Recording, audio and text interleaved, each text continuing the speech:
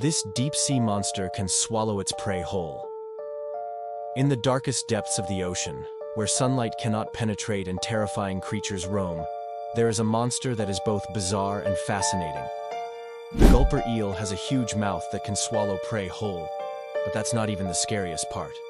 This eel's mouth is lined with sharp teeth that can slice through flesh like butter, and its elastic stomach allows it to expand to three times its normal size to fit its meal. But wait, there's more. Gulper eel also has bioluminescent skin that glows a spooky green in the dark depths. This eerie glow attracts unsuspecting prey, which is then met with a horrifying sight. A gaping maw filled with sharp teeth just waiting to devour them. As the gulper eel wraps its slimy body around its prey, it uses its powerful jaws to hold on tight.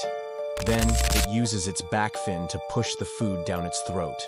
And with its prey secured, the eel is free to swim away, its belly full of delicious fish. So if you ever find yourself swimming in the deep sea, be careful not to get swallowed by one of these terrifying monsters.